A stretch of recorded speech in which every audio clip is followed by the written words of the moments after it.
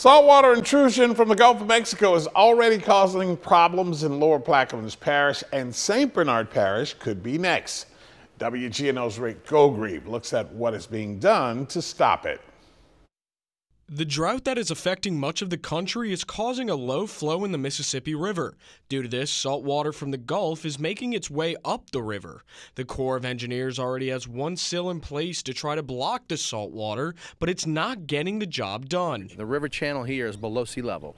So when the flows in the Mississippi River drop, seawater, which is denser than freshwater, saltwater, moves upstream at the bottom of the river. And so we're seeing extreme low flows and so we're seeing an excessive saltwater uh, intrusion. The estimate is the saltwater could reach the intakes for St. Bernard's water supply system by October 8th, which will lead to problems like damaged pipes and contaminated water in the system. We know we have to maintain about 9 million gallons a day here in St. Bernard Parish to um, make sure that our citizens can, can continue to live in a normal way.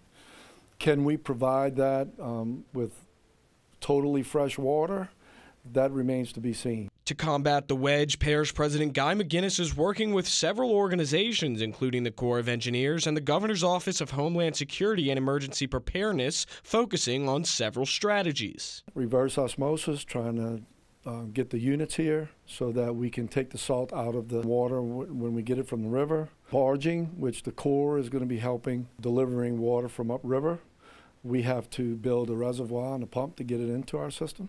We've worked with the city and Jackson Barracks to connect to the city. If the salt water makes its way farther up the river, it could affect other parishes' water supplies. The whole uh, New Orleans regional area can be affected by this, so we, you know, we're working our hardest to get, get, a, get a solution.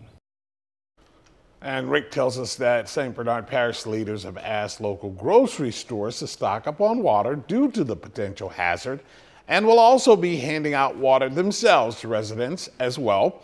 For more information when it will be announced or when or where the water distribution will be, uh, tune in WGNO.com.